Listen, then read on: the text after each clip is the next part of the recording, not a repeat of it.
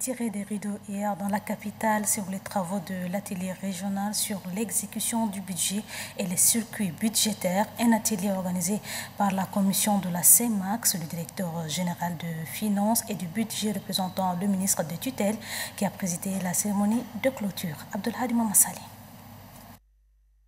Désormais, les cadres du ministère des Finances et les praticiens des finances publiques des États membres de la CEMAC sont outillés en technique d'élaboration et d'exécution du budget en mode programme. Cette réforme de la CEMAC vise la gestion transparente des codes financiers et la bonne gouvernance. Elle ne recherche pas non seulement l'instauration des directives relatives aux lois des finances, mais aussi et surtout de renforcer les capacités pour une meilleure implication et un, bon découpage d'une politique publique. Au terme des travaux, les participants ont formulé des recommandations à l'endroit de la commission des CEMAC et au ministère des Finances de multiplier ce genre de formations. De faire aboutir sans délai le projet de règlement mettant en place le comité des praticiens en finances centrales, organe de mobilisation de l'expertise sous-régionale, d'assistance technique aux États et de dissémination de la réforme, vecteur du renforcement des capacités des agents des administrations publiques de la SEMA et de l'espace passif. Pour le directeur général du ministère des Finances et du Budget, cet atelier régional de formation est une importance capitale pour les cadres du pays membre de la SEMA. Vous êtes désormais familier avec la nouvelle gestion des finances publiques qui renforceront sans nul doute vos capacités dans l'appréhension et la conduite quotidienne de vos tâches responsabilités budgétaires. D'ailleurs, l'évaluation qui a été faite ainsi que les divers commentaires ici de vos travaux témoignent tout le sérieux qui a caractérisé votre formation. Le directeur général du ministère des Finances et du Budget a exhorté les bénéficiaires de cet atelier à traduire en acte les enseignements reçus et puis clôture ce matin des travaux de l'atelier de restitution de résultats préliminaires de enquêtes sur la malnutrition. Objectif. L'objectif est d'évaluer la situation nutritionnelle des enfants de moins de 5 ans de 12 camps de réfugiés soudanais de l'Est du Tchad. C'est l'administrateur principal de la Commission nationale d'accueil et de réinsertion de réfugiés rapatriés qui a clos les travaux. Moussa Mboudou les travaux ont permis aux participants d'échanger sur les résultats de l'enquête Smart Science auprès des réfugiés soudanais des camps de l'Est du Tchad. Cette enquête a pour objectif global d'évaluer la situation nutritionnelle des enfants de moins de 5 ans des 12 camps de réfugiés. Selon ces documents produits par les experts du HCR, la prévalence de la malnutrition chronique s'élève à 44,7% au camp d'Amnabak. Quant au camp de Farshana, Gos Amir et Djabal, les prévalences de la malnutrition aiguë est de 15% et celle d'anémie globale chez les enfants est de 37,1%. Pour le représentant du HCR au Tchad, les indicateurs sont au rouge. Le taux de malnutrition aiguë globale obtenu dans l'ensemble des camps traduit une situation alarmante qui nécessite des réponses urgentes appropriés et spécifiques à chaque camp, surtout ceux de la sous-délégation d'Iriba, qui sont dans une situation plutôt alarmante, comme je l'ai dit tantôt. Il s'agit particulièrement des camps d'Ori Kassoni, Amnabak, Iridimi et Toulon. L'administrateur principal de la Commission nationale d'accueil, de réinsertion des réfugiés et des rapatriés mesure l'ampleur de la situation nutritionnelle dans le camp des réfugiés. L'enquête réalisée dans les camps de l'Est nous offre l'opportunité de mesurer l'ampleur de problèmes, surtout dans les camps de la sous-délégation du RIBA, et de réfléchir ensemble sur les stratégies à mener de façon collégiale pour pallier à cette gangrène. Les organisations intervenant dans la lutte contre la malnutrition doivent agir pour sauver la vie des milliers d'enfants malnutris. Le directeur général de l'enseignement supérieur Dion Commandoué a installé officiellement ce matin la nouvelle équipe du centre régional des œuvres universitaires de la ville de N'Djamena. Le point avec Mamad Omar Morsal. C'est par arrêté 606 du 26 octobre 2017 que Hassan Ahmad Djouma est nommé premier directeur du Centre régional des œuvres universitaires Serou N'Djamena.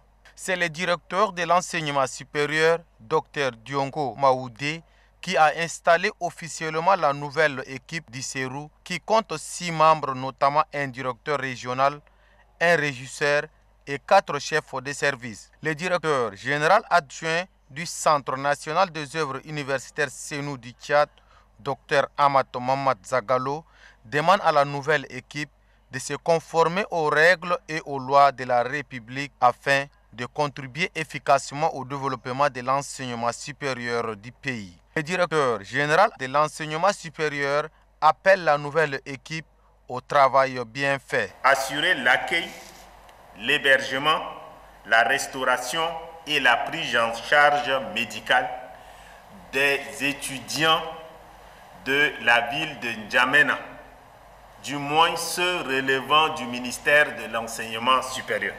En tant que directeur, vous devez promouvoir les activités culturelles et sportives dans tous les établissements d'enseignement supérieur de la ville de N'Djamena. Pour le directeur régional du Sérou de la ville de N'Djamena, Hassan Amato Djouma, des efforts seront fournis pour répondre aux besoins des étudiants. Je mettrai les bouchons doubles pour ne jamais décevoir le personnel du centre des œuvres universitaires dont j'ai la charge de diriger. Le directeur du Centre régional des œuvres universitaires de la ville de N'Djamena, Hassan Amato Djouma, demande la contribution de tous pour l'accomplissement de sa mission. L'action de partenaires pour l'appui au développement PAT a ouvert ce matin les travaux de l'atelier de formation à l'intention des filles et femmes militants pour la paix et le vivre ensemble. Objectif partager les expériences communes en technique de médiation sociale. Le point avec Christine. Venues du Tchad et de la Centrafrique, ces femmes militantes de la paix et du vivre ensemble partageront leur riche expérience en culture citoyenne. C'est dans cet ordre que le présent atelier placé sous le thème Filles et femmes au service de la paix et du vivre ensemble au Tchad servira de cadre pour favoriser la cohésion sociale à travers la création d'un réseau de militantes. La représentante de la plateforme interconfectionnelle de la jeunesse centrafricaine, Adja Kadidje El Madido, encourage ses sœurs à rendre cette coopération plus dynamique pour une meilleure efficacité pour le coordonnateur national de l'action de partenaires pour l'appui au développement APAD, Ngarassal Sam Jacques, les droits des femmes ne doivent en aucun cas être violés. De nos jours, la place de la femme dans nos diverses sociétés africaines est d'une importance capitale, car la femme constitue le pilier d'un développement durable qu'il est question aujourd'hui de l'intégrer dans tous les processus visant à apporter un changement positif dans nos sociétés. Pour mieux contribuer à aider les associations féminines et les jeunes dames à continuer par jouer pleinement leur rôle, APAD, en collaboration avec la plateforme interconfectionnelle de la jeunesse centrafricaine, voudrait outiller ces dernières aux techniques basées sur la résolution des conflits afin qu'elles soient des véritables actrices du changement. Suite de l'opération de salubrité dénommée Ville propre, initiée par la mairie centrale de N'Djamena avec les communes d'arrondissement, aujourd'hui ce sont les communes du 3e et du 5e arrondissement qui sont concernées par cette opération. Amat Ngarasta. Les responsables de la mairie centrale, appuyés par les responsables des communes des arrondissements, entament une opération de salubrité. Munis de pelles et de râteaux et d'autres outils de travail, Ceci nettoie de fond en comble les artères des avenues Charles de Gaulle et Bokassa. Ce coup de balai entre en droite ligne de la santé publique, souligne le directeur de l'assainissement, de l'environnement et de la santé de la mairie centrale sain, il y a aussi euh, une bonne santé. Et vous savez également que beaucoup d'investissements ont été faits sur les, les voiries urbaines. Et sans l'entretien, cette voirie urbaine euh, risque de se dégrader. Et à cet effet, les autorités ont bien pensé à assainir et à mettre la propriété euh, ville de l'assainissement, la réussite de cette opération nécessite l'implication de la population. À ce titre, il appelle à la population à faire preuve de civisme en évitant de déposer les ordures sur les grands avenues. La sécurité, le sujet au centre d'une rencontre présidée ce matin par le maire de la commune du 7e arrondissement, Makaïla Djibrin Ahmad. Une rencontre qui a vu la présence de responsables de forces de l'ordre, de délégués de quartier et les représentants de conducteurs de mototaxi, communément appelés clando. La question de la recrudescence de l'insécurité était à l'ordre du jour. Gangue Joël Lidne, Christelle Ngarlindana. Comment faire pour stopper l'insécurité qui va crescendo en ce dernier temps dans la commune du 7e arrondissement? C'est cette problématique qui a sous-tendu cette rencontre entre l'exécutif de cette commune et ses partenaires qui sont entre autres les responsables des forces de l'ordre et de sécurité, les délégués des quartiers et les représentants des organisations des conducteurs de mototaxi.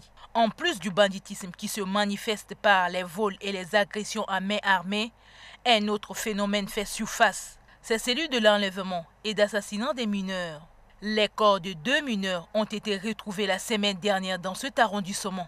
D'après les interventions de l'assistance, il se trouve que les points de vente d'alcool et stupéfiants constituent les pôles d'insécurité dans le 7e arrondissement, ce qui nécessite un contrôle strict pour l'appréhension et l'arrestation de ces criminels qui mettent à mal la quiétude de la population. Le maire de la commune du 7e arrondissement, Makaila Djibrit Ahmad, appelle ses partenaires à un travail en synergie pour le partage d'informations.